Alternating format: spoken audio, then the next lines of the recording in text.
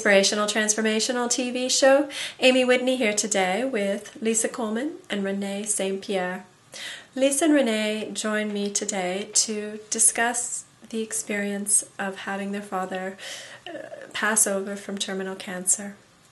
It's a really important interview, I think, today because a number of viewers contact me following deaths within their family of loved ones and I believe it's Lisa in the interview. She talks about the death of someone that you love is one of the most pivotal moments of your life. And so to have the girls on here today to share their experience and to share their discoveries of, of what their father's death actually was to them, which was actually a gift. It was a gift for their transformation. It was a catalyst for the girls to to strive and to rise to their full potential. The way that they experienced the passing of their father and have grown from it and are open enough to share these uh, experiences today is absolutely beautiful. Enjoy the show.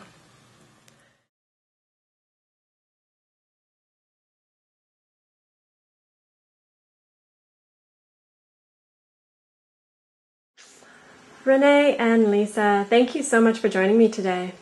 No problem. No worries. Now, it's actually our Christmas special for 2011 that this is going to uh, be posted. So I thought it was lovely that I would have two sisters on here.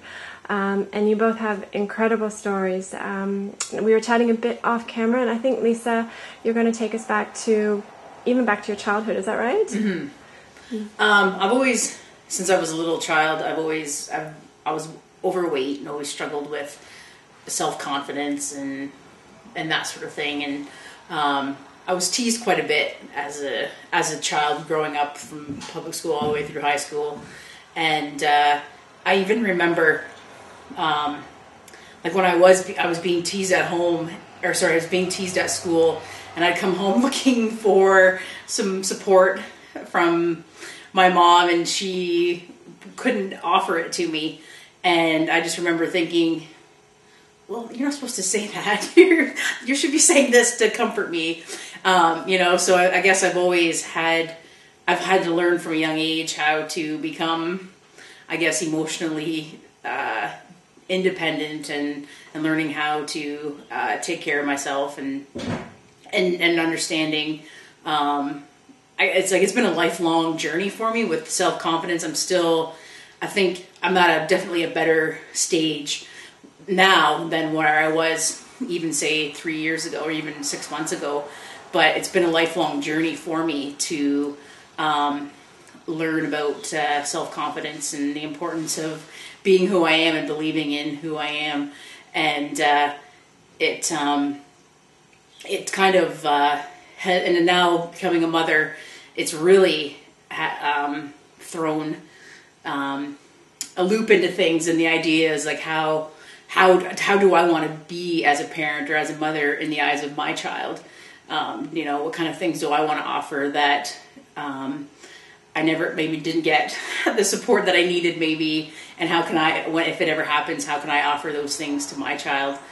Um, so I've had transformations throughout my whole life, but uh, the biggest transformation was when my dad passed away um, in the idea of really changing my thought process and my lifestyle and, and understanding and believing in who who I was. Um, for me, when uh, I, when my dad got sick, um, I really because he had been the first person that I had ever known to to watch um, pass away, but also to see that that transition from being healthy to not being healthy anymore, and it was uh, it was quite. Um, I don't even know. I don't even know how to put it into words. Like it. Uh, for I just remember the one time when Dad was uh, he he was weaker and he was losing his abilities to do things on his own, and I just remember because our dad was a huge he was a big guy he was like six foot four you know 300 pound sort of guy and he was just this big man and he had this big voice and he was very he was just a big strong man. And i remember the one time i was at the hospital and i saw him and i looked and there it took like three people to get him out of bed and he was just skin and bone and couldn't walk anymore, couldn't do anything on his own, and it really, I think it was that was probably my turning point right there. Um, in the idea of acceptance and like I just I didn't know that he wasn't invincible. that he wasn't yeah thank you like he that he he was he even he was my dad like in my eyes he'd always been my dad and he was indestructible and he was you know he was so strong and he was so smart and he just you know but when I saw him that physically declining um that I think was probably the hardest thing I'd ever seen you know?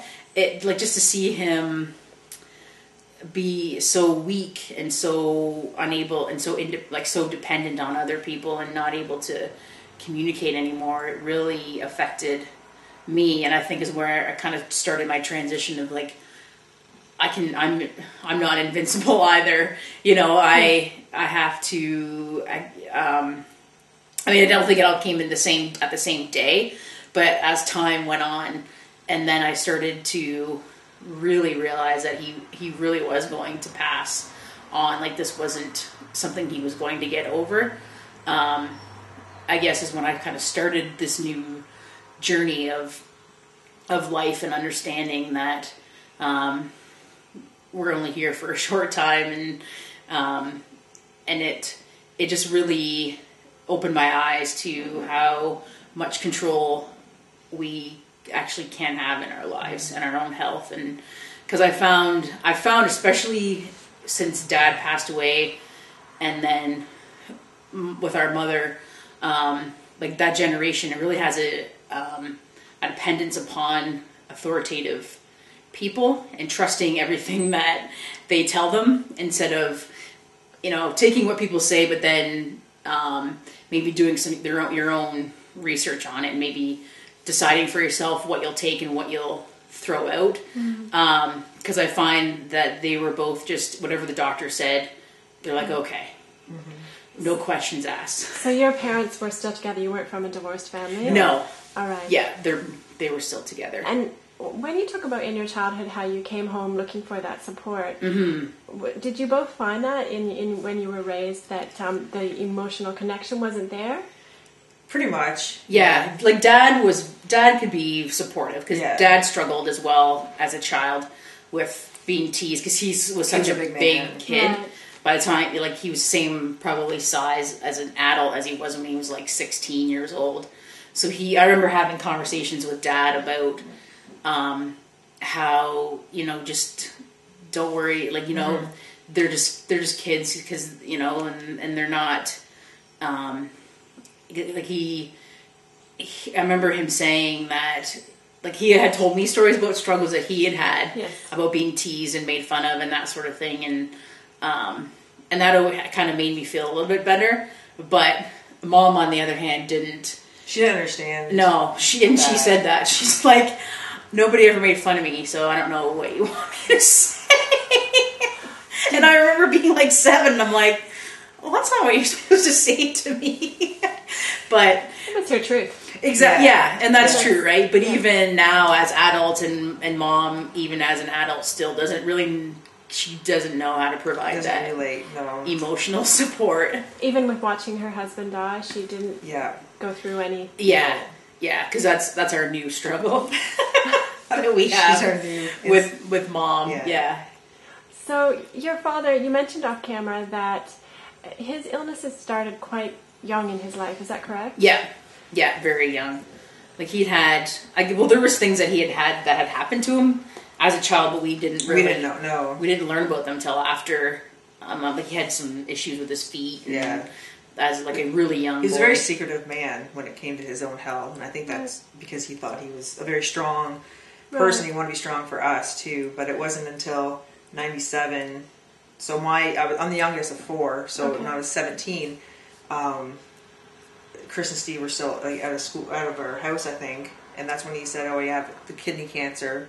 So they're going to operate on his kidney, and then three years later, he had the heart disease, so the bypass. So he's never lived a very healthy, at like, I guess, midlife. Yes. I guess that's what you call it. Um, so But even when we were t- like when I was 17, he was diagnosed with um, depression, Okay. and Yeah. so I, that's kind of when everything kind of went. yeah, just kind of went downhill from there.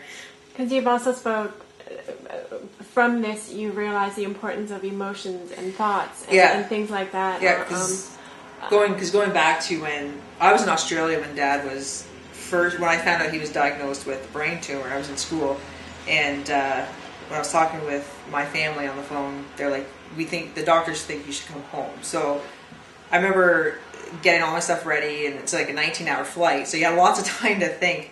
But I'm just thinking to myself that a brain tumor, because I'm a very, even though I'm a scientist at heart, but I'm a firm believer that cancer does come from anger and depression and all of those different emotions that a rage that you've just kept shoving down. And if you don't talk about them or don't get them out, then it's really going to affect your health, um, even the way you look, like your skin, the uh, your hair, and everything. So I'm a firm believer that that's exactly what happened with him because of his depression and his silence with mom and like they they never talked and yeah. uh, So take us back to you were on the plane coming home, and the, the brain cancer is actually what caused the death of your father. yes. When you arrived home, was there a, a, a startling difference in your family dynamics in your father? Um, well, that's kind of interesting because um, I don't know. I, I was a bit different, I guess. I I just when I heard that he was diagnosed with brain cancer, I just I had a feeling inside that that was it. Like he was gonna die, and I had to accept it. So I I personally never went through um, a very hard emotion, like taking it very hard, like his death, because I think I, I accepted it right from the get go. right. Um, but there was a huge change in the way our family worked. Like we have two older brothers, and uh, Lisa and I got closer through this. Like, um, and then our brothers kind of we grew apart almost with the boys. Yeah. and uh, I don't know, like it's it was a hard dynamic, and I didn't really have anything to say because I wasn't there that whole year prior to all of this happening. Like they understood it more than I did. I just knew I came home back to the country and my father was passing away. So Yeah.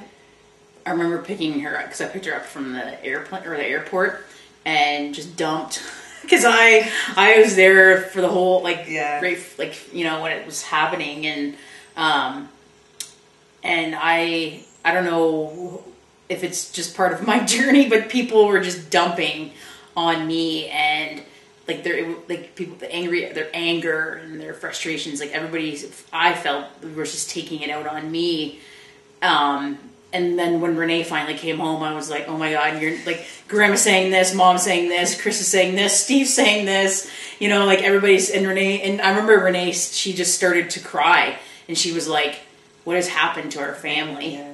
And I'm like, I don't know. Like it just, it was hard because, um, like mom didn't want. She still, as far as I'm concerned, doesn't want to deal with it.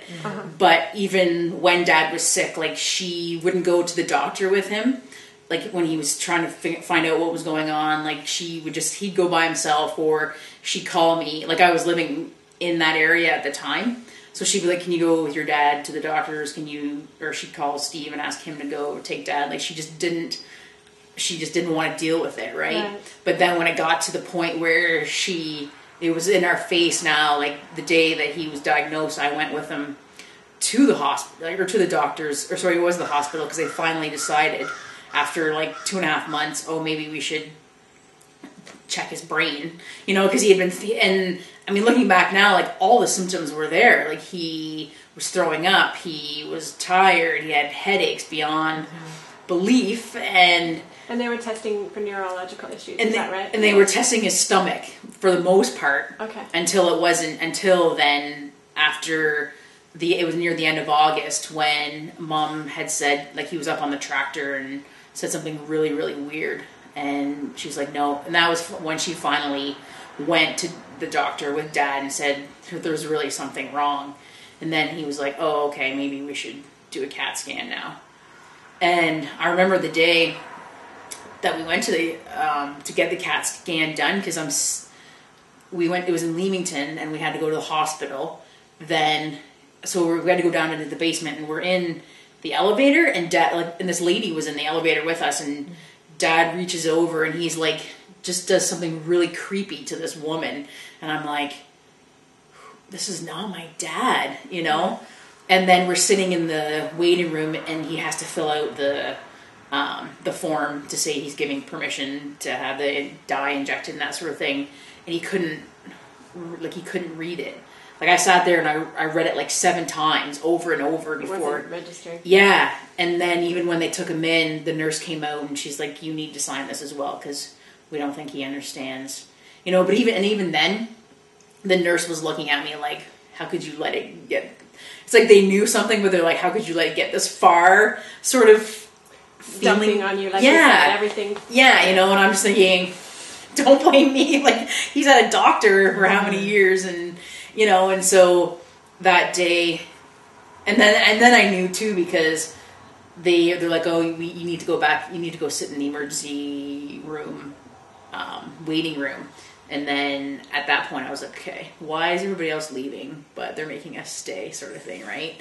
And then, but again, like dad kept saying, he's like, no, we can go, we can go. He's like, they're just going to send the results. And, uh, you know, I'll just get them from Dr. Eaton and blah, blah, blah. And I'm like, no, dad, we have to stay. You know, so I, I, I still believe to this day that dad knew, again, because but he was so secretive. Right. But I still feel he knew way before any of us did, but just wasn't he. Because another time I'd met him at the hospital prior to that, like he had gone for more stomach testing and that sort of thing, mm-hmm. and I drove over to meet him there, just you know, even just to offer some support and company, and he told me to leave. Okay. He's like, just go, and I'm like, you know, but no, like I'll stay because, you know, he's like, no, I don't want you here. So, what was his process like transitioning to death? Did he struggle? Yeah, Personally, do you think he struggled? well, I think because Because I he think did, he didn't show it to me. I think to a point was when I think there came a point where he realized it was too late. Yeah. there was no turning Well, yeah. back because he had had all these other close calls and sur- and made Mm-hmm. And through, survived. and survived. Um, because he had at one point, I guess, just before he passed away, he said to mom, um, he's like, "I wish I would have done something earlier." Like he had made that sort of comment, or I wish I would have. Um, uh, I wish I would have looked at or something about accepting the symptoms or or like as he had Acknowledging. been acknowledging the symptoms yeah a lot sooner because i think but I, I saw him i felt that i saw him go through the four stages like i didn't understand the stages till after when i went back to school and i was learning about the four stages of death but i could definitely when i think back i could see him because after he had his surgery he was really angry for a while like he not not towards us, but he was really angry with mom. Like he, so I think there was some frustration. Like there was more like to that. Like I think there was a lot of regret and that sort of thing that was coming out, and um, and I saw it towards mom and mom, and then I'd heard, I'd heard it from mom about the things that he would say to her and that sort of thing. Um, so there was just I think a lot of emotions that. Um, and I know, like, many times I'd be sitting with mom and she's like, I just want to tell him this. I just want to tell. And I'm like, just tell him then. You know, because I knew at one point, well, um, there was kind of a process where I had, I figured out too, I was like, no, this is, dad's not going to get through this, which was probably like mid October, Okay. you know? And, but that from that point on, I, anytime I saw it, like, I didn't know when it was going to happen. I didn't, you know, but I had a lot of unresolved issues as a teenager because dad and I kind of clashed quite a bit as teen as me as a teenager. But I think because him and I were, we were the same, Yeah. he thought he was right and I thought I was right, and that was just Yep. I was probably the most vocal one out of the four of us. and Like I would be the one to tell him what I thought, and he didn't like that.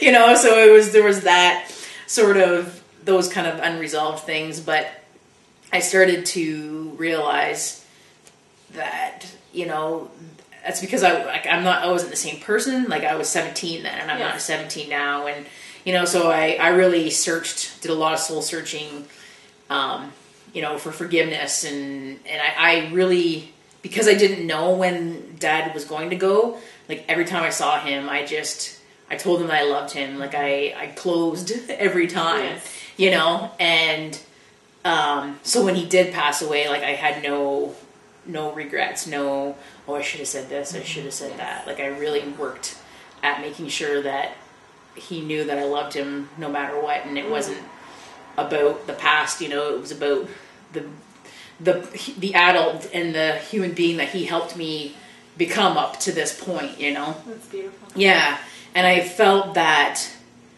especially after he passed away, um, I definitely. I, I mean, I'm pretty sure Renee felt the same way, but I was definitely at a crossroad. You know, where I could continue on the path that I was leading, or I could make a change and become a better person.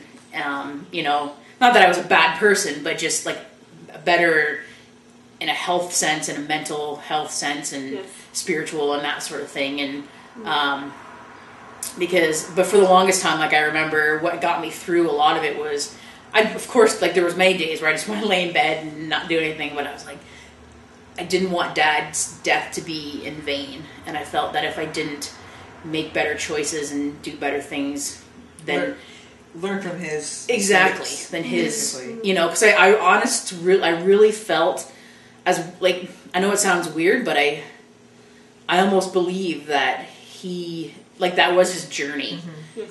you know to pa- to to go through that journey to die that way to help to us. help us um, you know to become who he really really did want us to become Yeah. you know because I, I after the after he died i when i really started to tap into like who i was and that sort of thing i went back to school and i was being i was becoming really successful with my education and that sort of thing and i'm like oh. You know like i, I really did I kept saying i was like no wonder dad and i fought so much. You know because i really i was more i think because he saw somebody that i he saw a potential in me that i hadn't seen Yes. you know? But it was but then as when like literally like not as, as soon as but when he died like all of a sudden this whole new world Well, I felt when he died, I felt closer to him. Yeah than I did when he was alive, which Wow. I know sounds weird, but I felt him constantly around me Mm. and there for me. mm-hmm. You know, because I had read um, James Van Praagh. I was reading one of his uh, novels. He was the he was the co-writer of uh, Ghost Whisperer. Okay. So he's a he was a medium. But I remember reading how he he said that a lot of times when people when loved ones weren't able to help their loved ones On in physical. on a physical level when they were here on the physical earth that they could help they could help them from the spiritual side. Hmm. And they could help everybody that they've always wanted to help you know? And i really felt that. Like i felt that like whether it was just in my own mind or whether it was really happening but i really i've never been i've never felt so successful and so accomplished than i have in the, my last like four years of my life you know and it just Beautiful. yeah like i just feel that um i've come like because I, I had struggled for so many years with you know my self-confidence and what i wanted to do with my life and who i wanted to be. And i was like i went from job to job to job you know and then all of a sudden i just i was like no i can do i'm, I'm meant to be i'm here for a reason. I'm meant to do something. And And what did you study when? Did you go back to school once your father passed away? Or I did, yeah. He passed away in April, and then I started back in September at uh, Fanshawe with for recreation and leisure, and I did two years there, and then now I'm at the University of Waterloo for therapeutic recreation, and I'm just I'm taking the year off now for the baby, Lovely. but um, I'm like smack dab in the middle right now. Like I'm just in the middle of third year right now, and I have another two years to go. So. And, and you think you found your passion with that? Oh yeah, I just it. Um, they I've always heard people say find what you love and find a way to make money at it, sort of thing, right? And and I mean, and I this job I do it for free. Like I mean, obviously I want to get paid, but I just feel so passionate about about it that um, I do it. I do it for free if I could. It's just for me. I always knew that I always wanted to do something that helped people. Yes. But I like I don't do well with blood or like that sort of stuff. So I was like, I, was, I get too queasy. Yeah. But this allows me to be able to help people and and um, and offer and like to see that because I I love to see that transition of people being sick, you know, or coming Yes. from a, a lower. Um, Vitality. Ita- yeah, and then watching them transition into something better and, and being more independent and How being, rewarding. yeah, it uh, it's a great for me. For me, like I absolutely love it, and I just um, I've learned so much about. I think it's also it's helped me also with a lot of my transition because I've learned so much, like I like with psychology and behavioralism and all that sort of thing. And I mean, I've probably become a client for myself. You know what I mean? Like being in class, and I'm like, oh, I used to do. You know, like You need a healer heal thyself. Yeah. It's, true. it's so true. yeah, and I just and then you know throw bouncing ideas off Renee and her bouncing ideas off of of me and like we've just kind of together. Uh, like it really has brought us close. Like not we've always been close, but as like as teenagers, like every sister fights with their sister, Yeah. you know. But we um, and we've always had our differences and then even like different interests and different likes and dislikes. But this I found has really brought us like closer than I've ever um, like I've ever felt. Like I've I don't feel like now I feel like um, I don't know what I'd do if I didn't have Renee, Yeah. you know, because I can there's some ideas that I can't pass by anybody other other people like I can I don't feel like when I'm talking to Renee I don't feel like I'm being judged or I don't feel like Yes. you know It's unconditional now. Exactly. Yeah, Yeah. like we can we can joke about things, we can laugh about things, but we can also like we can be very serious about our feelings and our emotions and you know, which um with our brothers and our mom, we can't do that. Amazing. Like they're very weird that way and so it's become a It's a different level. I, I Yeah. should say. yeah, like today, um, like mom just is very, she's very negative, and which Renee and I really struggle with. Um, Well, I've had to change my relationship with my mom. Yeah. Or else would be like self-destructive. Like I actually now, I believe I lost my mom when my dad passed away. Can you explain that? I don't know. Like she's not the same woman that Okay. I know before, and that it's probably because her husband of 34 years has passed away. But I've had to take on a, a friendship role with her as opposed to mother daughter, Okay. uh, because you know how when you you know somebody so well that you just you know you just take it for granted. Like you yell at them, you scream at them. Yes. But with a true friend, like I had to get that mentality of talking to her as a friend more so than a daughter mother Right. because or else I just keep yelling at her. and, I, it has really helped me with our relationship Nice. that way. But it's still struggling, mm-hmm. still struggling with How- her negativity. How was your experience? I know that you said right when you came back from Australia you accepted the fact your father was going to die, but did you have a, a transformation like Lisa in that it set you on a different path, or Um, well, it it kind of I think the whole transformation of when I left for Australia. I remember going back, taking us back some time there. Uh, the day, the night I we left to go to Toronto before she dropped us, my husband and I, off of the plane to go to Australia. And I remember hugging Dad.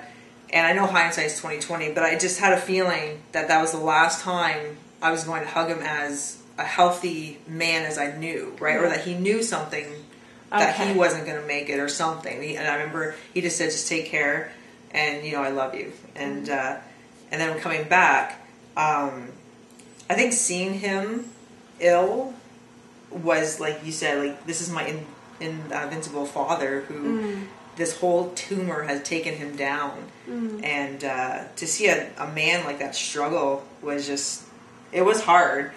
Um, but I guess I I was still in school. Like I was doing my thesis for a teachers college, Yes. so I still had that to focus on. So I think that helped as well, Yes. taking my mind off a few things here and there and talking with people. Like I'm not like I will talk about anything. What I don't care what people say about me. Like I will discuss any possible thing that I need to just to get it off my chest. yes, and that has helped. Um, but I remember the day that he did pass away. Um, it was a very weird thing, and uh, and I, I there's people that contest to this the day after and the week after because um, I was an atheist. I did not believe in God or another life. I'm a chemist at heart and a scientist at heart.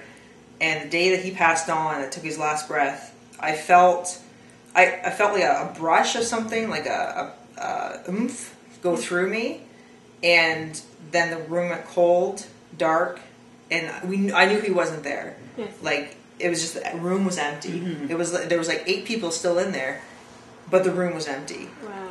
And after that, I felt relief. And a week before that, what really changed me was my dreams. I had a dream of dad a week before he passed on, and he was healthy. He was the father that I knew, and he, um, I was. What's wrong with me? That's not right. Sorry.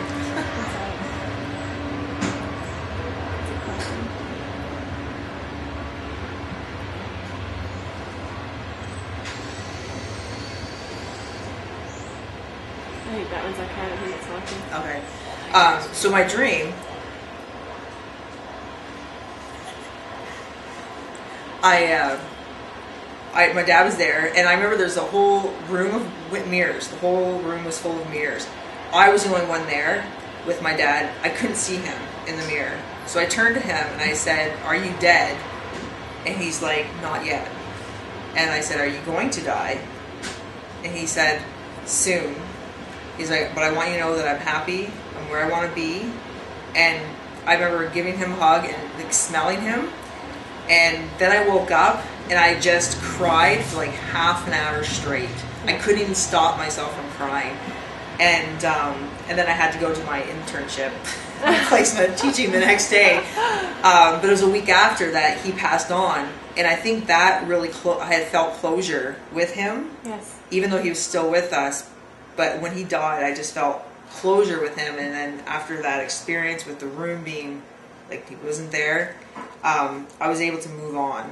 So that led me on to a path of what the hell just happened, pretty much because of my logical scientist's mind Yes. couldn't think and couldn't rationalize what just happened.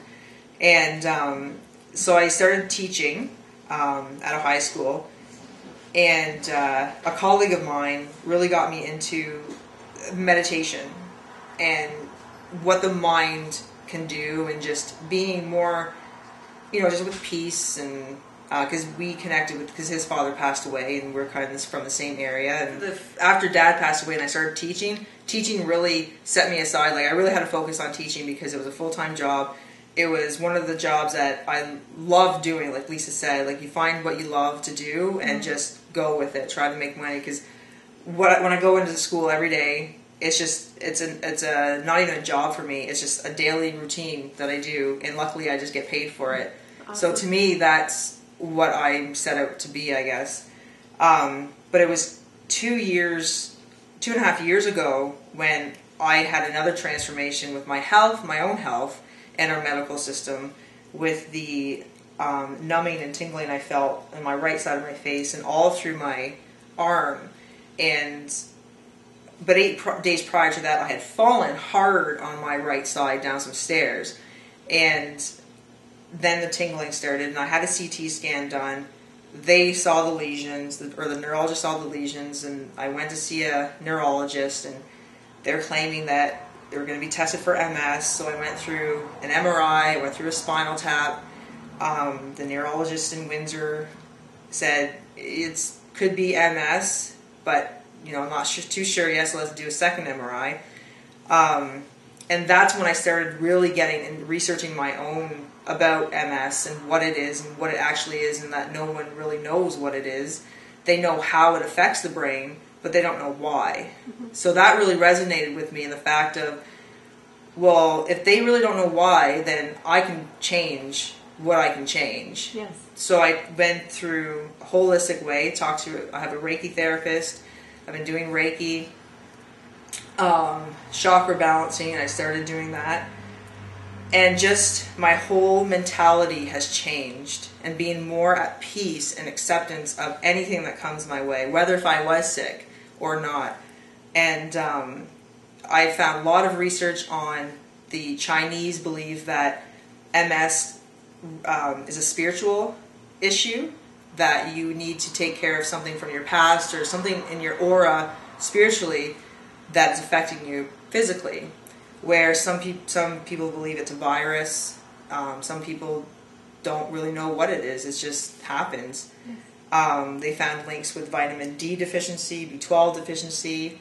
Um, I got I was tested for lupus. You know, all I was just I was even just trying to get my own checklist going and saying what it is like what it's not, and um, and still going through the meditation, going through writing things down like issues that I, I've had personally from my past uh, come back out and being ready to wash my hands clean of them. Beautiful. And that has really opened my eyes to truly who I really am.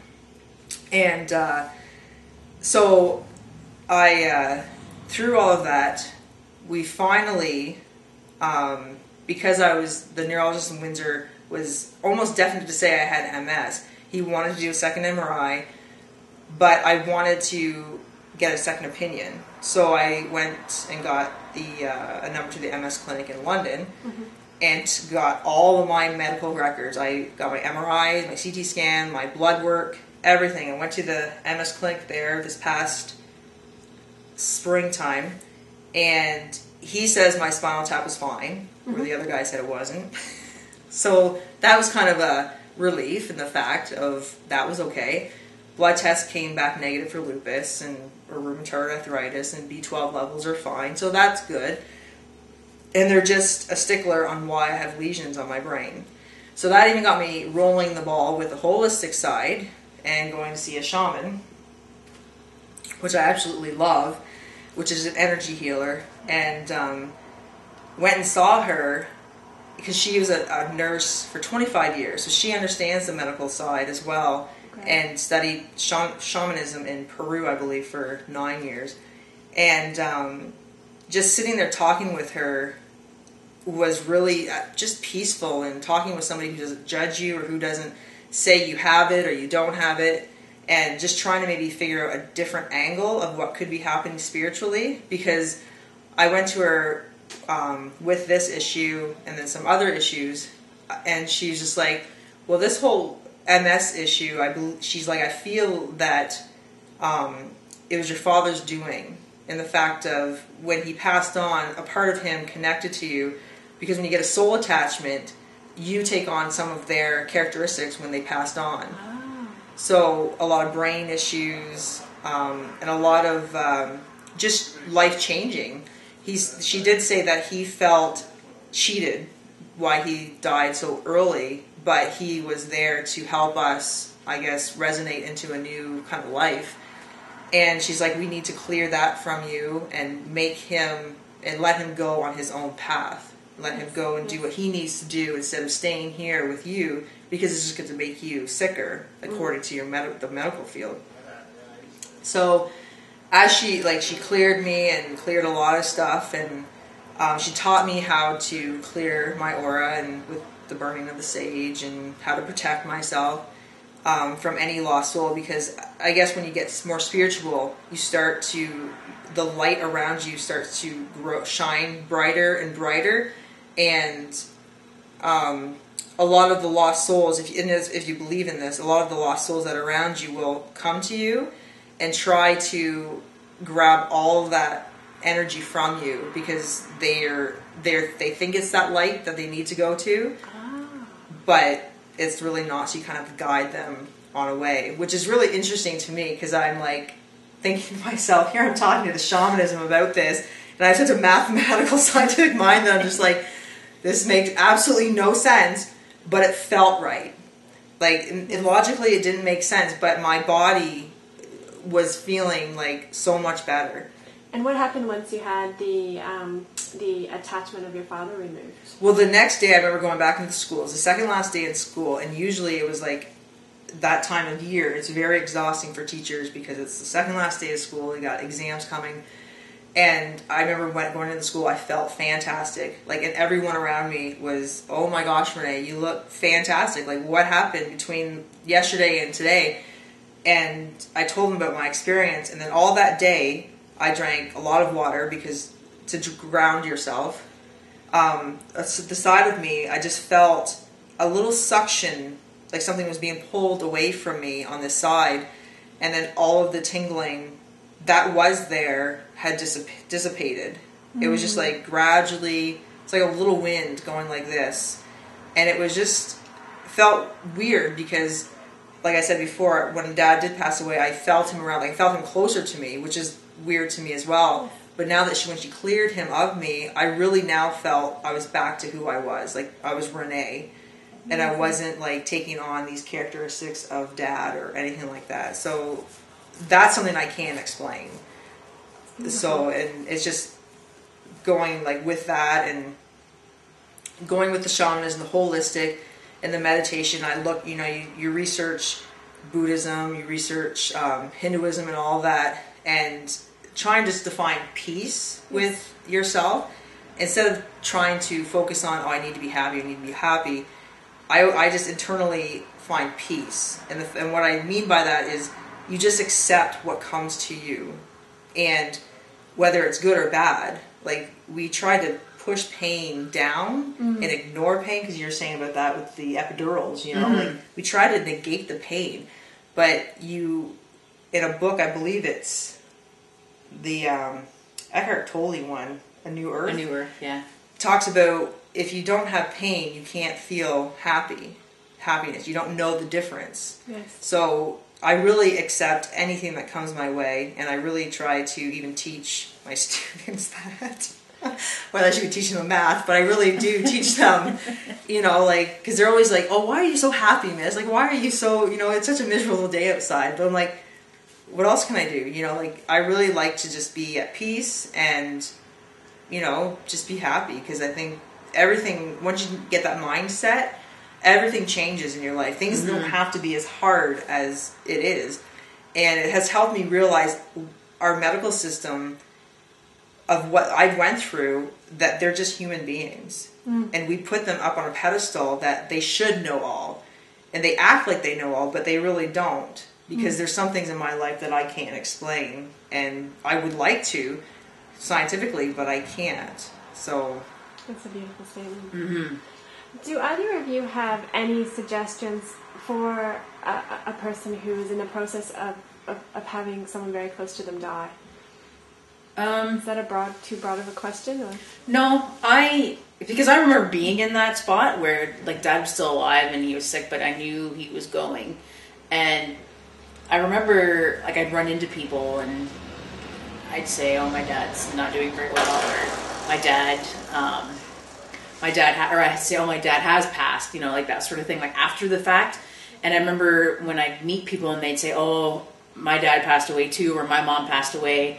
My first instinct was, oh, they're still alive. You know, like the person that I'm talking to, I'm like, oh, they they made it through. So if they can make it through, then I can make it through. Yes. You know, and then now I feel, to me, I always think the worst thing that anything the worst thing that can ever happen to anybody is that they lose somebody that they love you know whether it be a father or a mother or a sister or a brother or a friend or a husband or wife right like to me that's ultimate nothing gets worse than that and i always feel like now i feel like so like the worst thing that ever could happen has happened mm-hmm. to me you know and i'm still alive and mm-hmm. i'm breathing and I'm I can still function and those sorts of things and um, and I'm gonna and I am okay. I, like I used to say, and I can be okay. Mm-hmm. And now I feel like I am okay, you know. And I think it's just with that, like Renee talking about, like you have to switch that mentality because I used to be very, but again, I think it just came up. It comes from our upbringing. I was very intri- extrinsic, feeling like all these bad things kept happening to me. Nothing ever worked for me. We, call, we, used to call it the St. Pierre curse. the St. Pierre curse, yeah. Because nothing would go right for yeah. our family. But see, because you had that thought process and yeah. that negative energy. Yeah. And comes out exactly, and when I started to like, especially when I went back to school and started learning about intrinsic and extrinsic motivation and that sort of thing, it really, I really started to understand that, um, I like yeah. I mean, there are things that are going to happen in my life that I have absolutely no control over. But again, it's that it's not how you fall; it's how you pick yourself up again, right? Yes. And so I started to really think about life that way, and started to um, understand as well about energy and people around you, and and how people can really influence how you, feel. feel. And so I started to really not hang out with people Yeah, anymore. it's true. You know, or like if people started to get too negative, I'm like, you know, especially after dad died, I was like, life is way too short to be around somebody like you. Yeah. You know, and I just started to realize, and I, you almost have to handpick the friends and the people that you want to be in your in your circle and in your life and and as tough as it can be because you could have somebody who's been a friend for years and then all of a sudden you're like you really are Aren't who I a good want. part of you're you're not you know you're you're messing with my energy like Yeah. you know like that sort of thing and so it's it's become a big thing for me that way too because I was very not that I'm not acceptable now like I accept people for who they are um, but it really has because I found I was on that same path as well like I got involved with a lot of not I guess yeah like wrong people I'll say like I was on paths where I was always getting um, emotionally in trouble we'll say Yes. you know like with boys and and you know and friendships and I was always I always seemed to be the one that got hurt Yes. at the end and that sort of thing right um, and then I started to realize that like I believe now too that people will come into your life to teach you something Yes. and if you don't learn it that first time, another person's going to come And- and try and teach Yeah. it to you until you finally figure it out, right? Yeah. Because it hit me a couple, uh, just about a month or so ago. I was like, why does this always happen to me?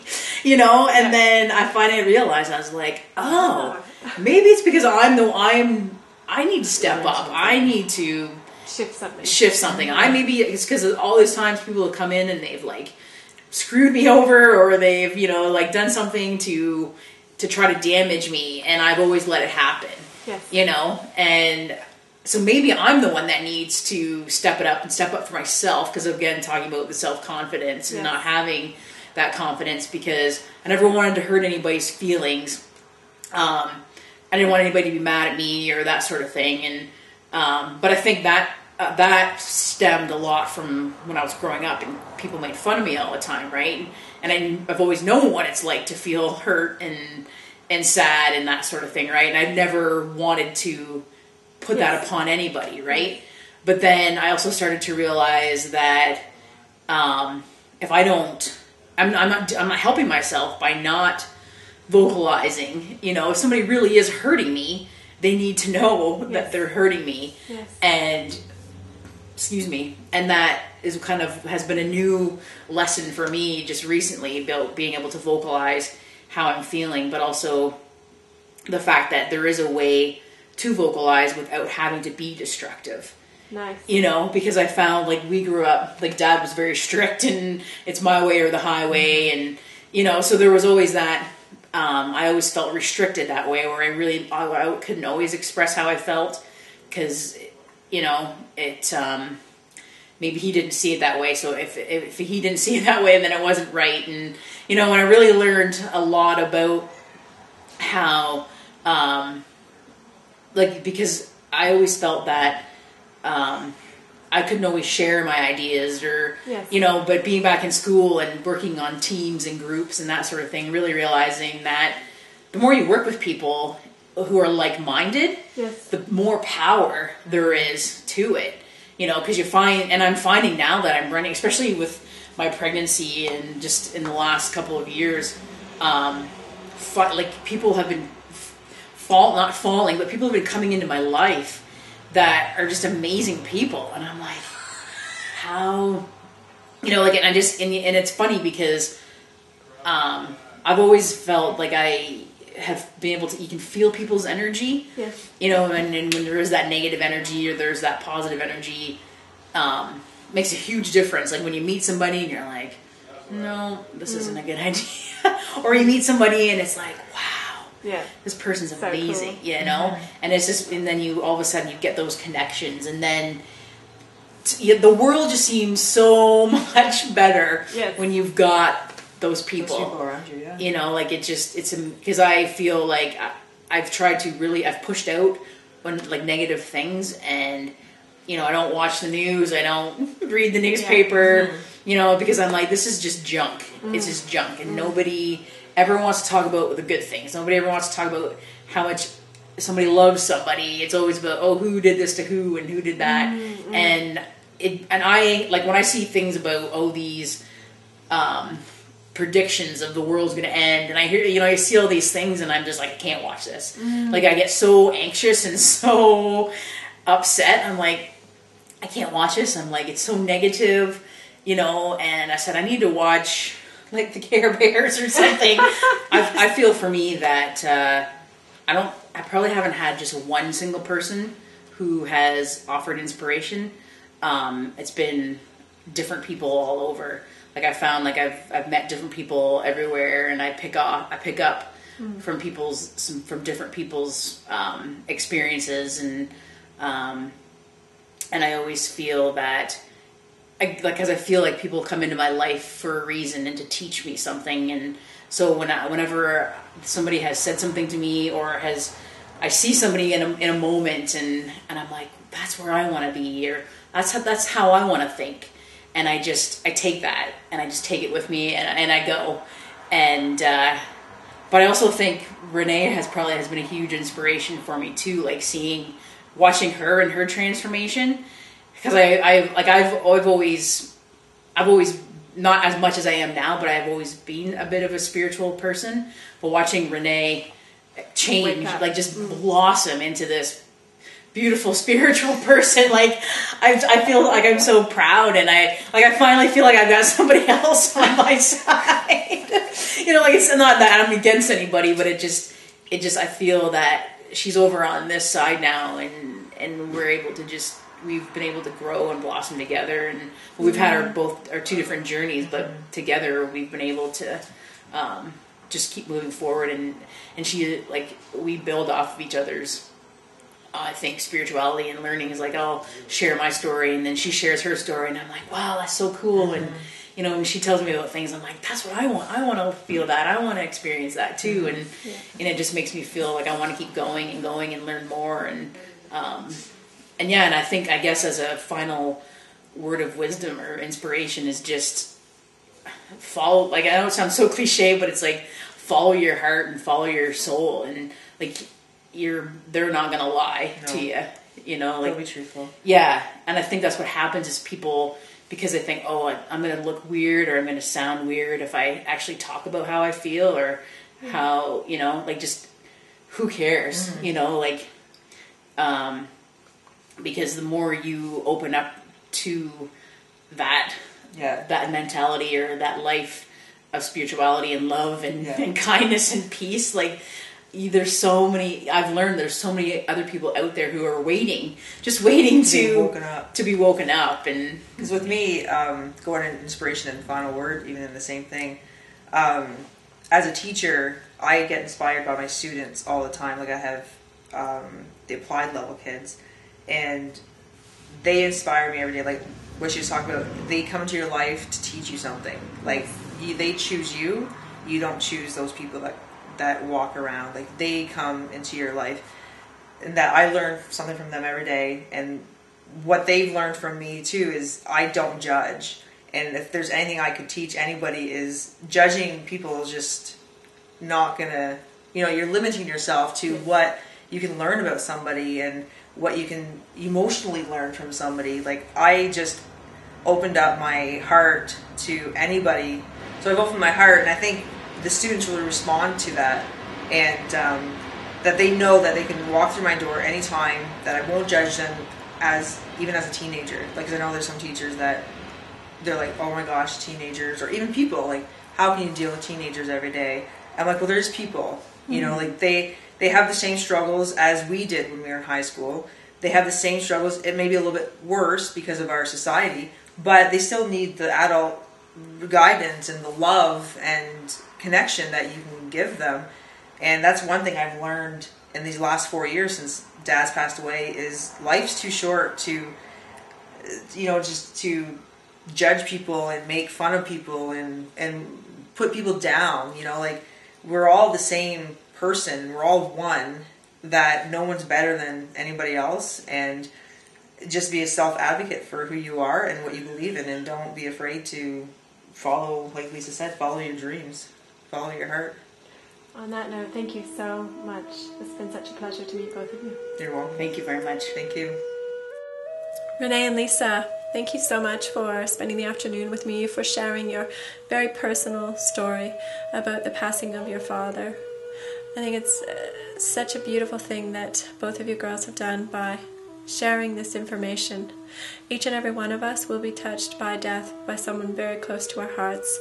And seeing the process that you went through, of course, you had your mourning period, but that you took it as a catalyst for growth, that it was a transformative experience for you, is what it's all about. So, thank you once again.